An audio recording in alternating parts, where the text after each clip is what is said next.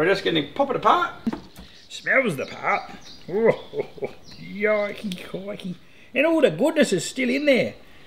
Couldn't get much goodness, much more goodness than that, could you? Oh man, eh? We're going to have to go and get some more of these. Are quite cool indeed. Take this edge off.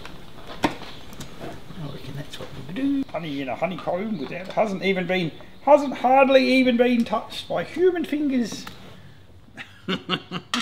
well, it hasn't definitely hasn't been spun senseless. We're gonna have to go and buy ourselves some cool ass sticky tape or something, aren't we? Some nice coloured sticky tape because I think that that might get a little bit exciting in the post. you reckon? well, that's one down.